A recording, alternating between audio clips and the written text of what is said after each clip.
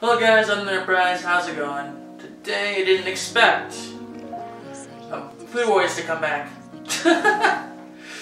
Honestly though, like Food Wars, like I, I didn't even know Food Wars is coming out today. It's Sunday the 8th. I was like look, looking on Crunchyroll this morning. I was like, oh, Food Wars. That's freaking amazing. So I read, I caught up to the manga in the absence of the anime, so I know what's gonna happen now, but I'm still gonna watch it. In fact, I'm gonna review it for you guys right here. So might as well talk about it. so, as videos, right? Need them. So what happens in today's episode is basically a little connecting bond episode between Erina and uh, Soma.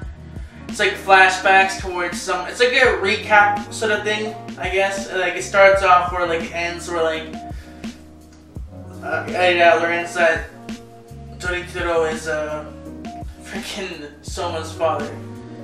So it's kind of weird. Then they start hanging out, start talking about her past, start to learn a lot more about Erina and how she used to love making, love cooking, and all the other different things.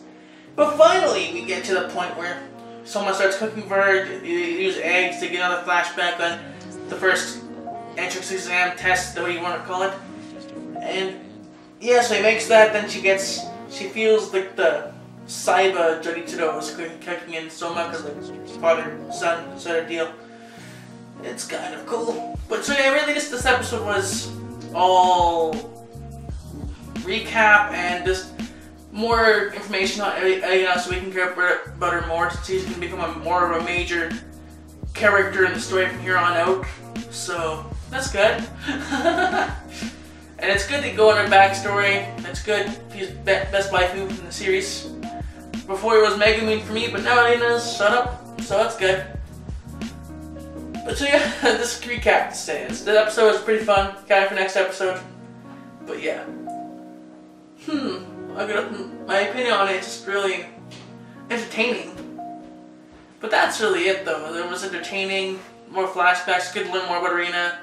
She switched it switched my mindset to meaning like, oh Megumin is second best now. Erina is finally the best waifu, so it's good, right?